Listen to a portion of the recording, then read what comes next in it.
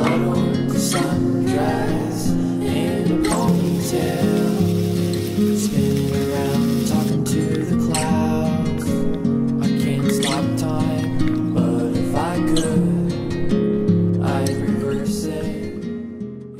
大家好，我是 Kia，欢迎回到我的频道。这期视频的主题是想通过一个 vlog 的形式，然后跟大家一起分享一下我最近健身的 routine，还有健身之后会吃的一些东西。其实我健身已经有四到五年了，那最开始的时候的想法跟现在是完全不一样了，现在也会更了解自己的身体一点。所以我觉得刚刚开始健身的小伙伴千万不要着急，就慢慢来，然后慢慢去聆听自己身体的变化吧，这样你就会慢慢去找到最适合自己己的健身的方式，然后也会对你之后一辈子的身体啊产生一个非常好的一个影响。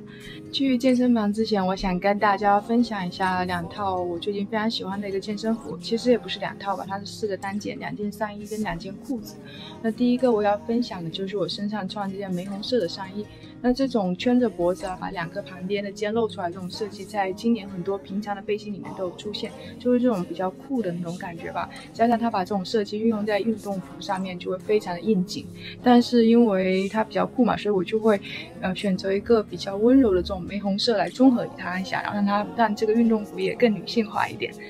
第二个我想要分享的衣服是这一件，然后这件是这种。蓝色的，但它是普通这种背心的设计。那我穿上去给大家看一下吧。就是这件衣服，它其实是比较正常的这种背心的运动服的设计，但是它对这种副乳的这种遮盖真的是非常好。那颜色是那种非常温柔的一个蓝色，加上它对女性这种胸部，它其实是有一点聚拢的效果。觉得。接下来我要分享的两条裤子都是呃一个型的，但它的颜色不一样，一个是这种深蓝的颜色，然后就跟这种浅蓝的上衣搭配在一起就很好看；另外一个是玫红色的，好，我们来看一下。呃，健身服的设计它会更贴合腿型一点吧。我觉得如果是你腿型还不是特别好的时候，可能会觉得它穿上去太贴合腿型了。但是就是因为这个优点吧，就它会让你整个运动的时候舒适度更高，加上它这个小腿部分一条，然后到大腿这种两条的设计，会让整个运动服穿起来更有延展性一点嘛。然后在运动的时候就会更施展得开。另外一条蓝色也是同款的设计，可以对着镜子给大家照一下，就是这样子的，其实上。